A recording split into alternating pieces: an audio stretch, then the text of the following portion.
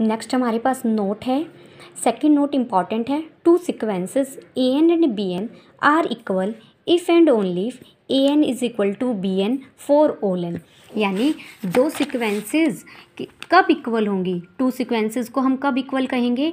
जब उनकी corresponding term यानी ए वन बी वन के इक्वल हो ए टू बी टू के इक्वल हो ए थ्री बी थ्री के इक्वल हो फोर ओल एन हर एन के लिए, हर नेचुरल नंबर के लिए, मान लीजिए कोई सिक्वेंस है मेरे पास ए एन कोई सिक्वेंस चल रही है one two three four up to so on ठीक है? और मान लीजिए कोई बी एन सिक्वेंस है, वो चल रही है one two one two one two ठीक है? अब इस सीक्वेंस की पहली टर्म पहली टर्म के इक्वल है, दूसरी टर्म दूसरी टर्म के इक्वल है, लेकिन थर्ड टर्म और फ़र्स्ट टर्म इक्वल नहीं है। तो ए एन जो ए एन सिक्वेंस है, वो बी एन के इक्वल नहीं होगी। दो सिक्वेंसेस कब इक्वल होंगी? जब पहली टर्म पहली के इक्वल हो, दूसरी टर्म दूसरी के इक्वल हो, तीसरी तीसरी के इक्वल हो, चौथी चौथी के इक्वल हो अप टू सोन यानी हर नेचुरल नंबर के लिए कोरोस्पॉन्डिंग टर्म्स सेम हो ए वन बी वन के equal a two b two के equal up to so on a n b n के इक्वल हो. ठीक है? नेक्स्ट है हमारे पास कॉन्स्टेंट सिक्वेंस किसी भी सिक्वेंस को कॉन्स्टेंट सिक्वेंस कब कहेंगे? जब हर ए एन की वैल्यू सी हो, कुछ फिक्स्ड हो फोर ओल एन इस कार्डा कॉन्स्टेंट है। मान लीजिए जैसे मैंने ए एन एक सिक्वेंस ली, वो ले ली मैंने वन वन वन वन, ठीक है?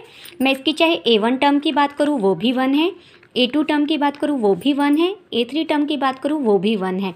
ये कॉन्स्टेंट सिक्वेंस चल रही है कि इसकी सारी टर्म एक फिक्स्ड नंबर है। वो फिक्स्ड नंबर ज़रूरी नहीं है, वन आप के भी ले सकते हो कि मान लीजिए के के है कोई। ठीक है? तो ए वन भी के ए टू भी के ए थ्री भी के अप टू सोन तो जो ए एन सिक्वेंस है, वो हर टर्म के लिए फिक्स्ड है, उसकी वैल्यू के है, ठीक है? तो इसे हम कॉन्स्टेंट सिक्वेंस कहेंगे, ठीक है?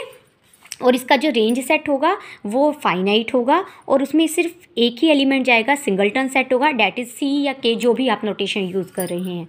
इसके बाद है bounded and unbounded sequence bounded bounded नाम से क्लियर है ना? बाउंड ठीक है?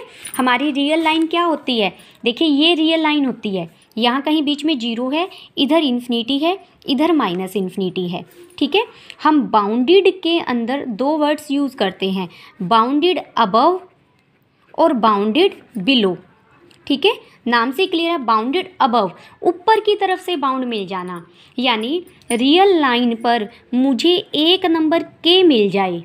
रियल लाइन पर एक के एग्जिस्ट करे कि सीक्वेंस की सारी टर्म्स उससे छोटी हों। उसके लेफ़्ट में एग्जिस्ट करें। छोटी होंगी तो लेफ़्ट में एग्जिस्ट करेंगी। ठीक है? और बाउंडेड बिलो क्या होगा? कि मुझे एक नंबर मिल जाए के वन सच डेट कि सीक्वेंस की सारी टर्म इस के वन से बड़ी हैं के वन के राइट में एग्जिस्ट करती हैं। एग्ज़ाम्पल से समझते हैं इस चीज़ को। मान लीजिए, मैंने ए एन सिक्वेंस ली नेचुरल नंबर की। एन ठीक है? अब अगर मैं रियल लाइन पर इस सिक्वेंस की टर्म्स को रिप्रेजेंट करूँ तो पहली टर्म क्या आएगी? वन ठीक है? दूसरी टर्म क्या आएगी? टू तीसरी टर्म क्या आएगी? थ्री अप टू सोन ठीक है? अब इस सीक्वेंस की वन ही ले लीजिए। वन एक ऐसा नंबर है कि सीक्वेंस की सारी टर्म्स वन से बड़ी या वन के बराबर हैं। या फिर कहीं ज़ीरो एक ऐसा नंबर है कि सीक्वेंस की सारी टर्म्स उससे बड़ी या उसके बराबर हैं, ठीक है? तो यहाँ ये सीक्वेंस बाउंडेड बिलो है। बाउंडेड बिलो ठीक है? मुझे रियल लाइन पर एक नंबर मैं ढूंढ पा रही हूँ कि सीक्वेंस की सारी टर्म्स उससे बड़ी हैं। तो ये सीक्वेंस कैसी है? बाउंडेड बिलो नीचे की तरफ़ से बाउंड मिल रहा है कि सारी उससे बड़ी हैं, ठीक है? तो बाउंडेड बिलो क्लियर जैसे अगर मैं ए एन एक सिक्वेंस ले लूँ माइनस एन ठीक है? तो ये सिक्वेंस क्या बनेगी? रियल लाइन पर बनाएँगे। मान लीजिए यहाँ ज़ीरो है। यहाँ माइनस वन यहाँ माइनस टू यहाँ minus three up to so on ठीक है? तो मुझे एक ज़ीरो नंबर मिल रहा है यहाँ भी कि सिक्वेंस की सारी टर्म्स उससे छोटी हैं। सिक्वेंस की सारी टर्म्स उससे छोटी हैं तो इसे क्या कहेंगे? बाउंडेड अबव ठीक है?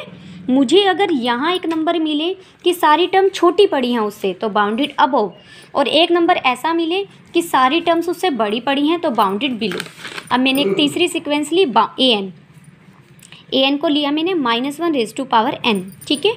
ये सिक्वेंस बनी वन माइनस वन पहला नंबर आया माइनस वन दूसरा आया वन फिर आया माइनस वन फिर आया वन ठीक है? यहाँ वन एक ऐसा नंबर है कि सीक्वेंस की सारी टर्म्स उससे छोटी हैं। तो ये क्या हो गया?